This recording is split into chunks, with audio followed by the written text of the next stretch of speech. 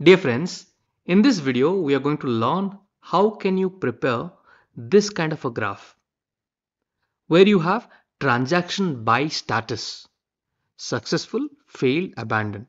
So how can you create this kind of a graph? Let's learn in this video. For this I'm opening an existing dashboard which is created by me and I'm going to click on edit. And once you click on edit you have the option to click on add, click on visualization. Now here I'm I'm interested in the Q org for the entire organization I'm building this. So I'm going to select this as my scope. So this pulls me all the data that is there in the organization. Now here let me type what I need is transaction by status by status. Now what I always say the important part is knowing the fields. So because I am in the queue, the field which I am interested is is the processing one, the processing status of the transactions. Okay, so here if I hit enter, let me type queue processing maybe.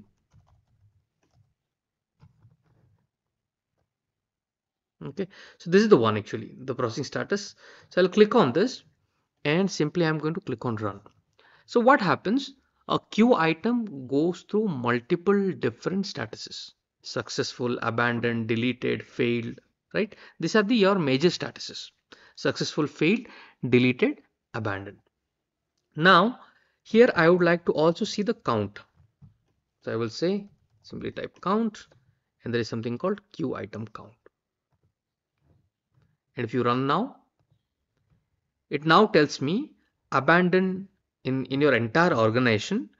See abandoned is 5 deleted is 70 failed are 12 successful are 965 this is what the total values in your entire organization.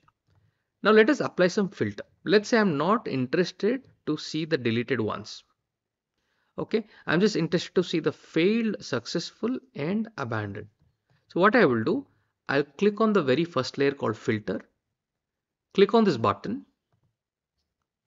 and then i would like to apply the filter based on the processing status. So simply i'll say processing. Okay? So you get processing status. And here i am going to select all the required fields that I want to see. So for example, I want to see successful, I want to see failed, I want to see abandoned. So like that you can apply the filters. So now if you run after applying the filter, you see the deleted item, the row number second will disappear. We can see because of the filter, I can only see abandoned, failed, successful. Now this comes in this kind of a graph. Let's say I'm not inter interested in this graph, rather I am interested in a pie. So all I will do simply click on pie and you can see the data how it is appearing. So successful 98% is failed 12.22 abandoned 0.51. Now what happens? The successful which is coming in yellow color by default. Let's say I'm not interested in this color.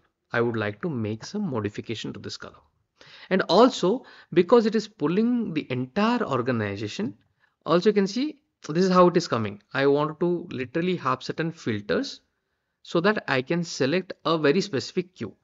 If you are interested like that you can also click on filter and simply say maybe the process name uh, queue name. Click on this. Let's say i'm interested this pie graph for a very specific queue. So click on this and I'm going to select RPA challenge uh, queue. Hopefully this is the one. Let me run it.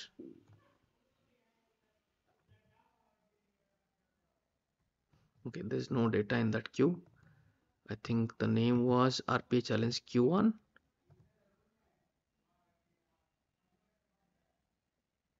Okay now you can see it is showing some graph.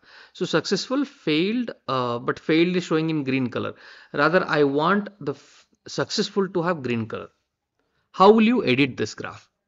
Okay if you simply save it this is how your graph will appear. Now you are you would like to change the colors of it. Okay for example I'll click on this. Let's say I want to make this green so I'll click on edit and here there, there is something called series click on series. And here it will allow you to select the color. So successful. And let's say I want to select this as a green color. And failed maybe uh, maybe red color. And abandoned maybe uh, yellow color. So you can see how this your graph is coming. Okay. Now I'm going to hit on run. So it's up to you to see which color you really need them and I'm going to hit on save. So now it is showing me transaction by status. Now you would say Rakesh I'm not see what you have done is you have applied a filter inside this. I don't want a filter here. What if remove the filter apply the filter in the dashboard itself even that is possible. So I'm going to hit on save so now what you see is for the entire organization. Click on the filter, add filter and here simply say queue name.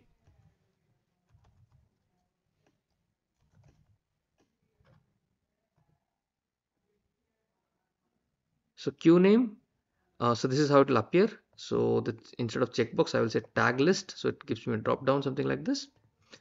And um, values, these are the values and simply hit on add so what happens? Now you created a filter here. Okay. So if you save this you'll be able to clearly see this how it works.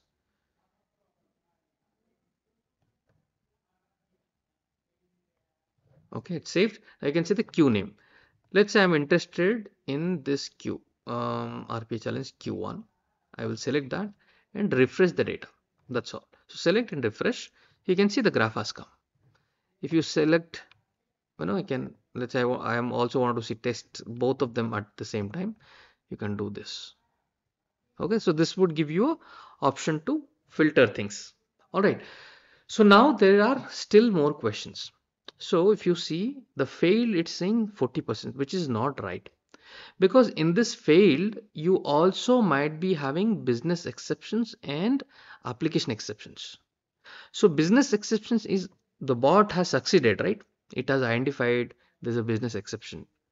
So what you really want is anything which is a business exception, you would like to define that business exception separately rather than it saying failed.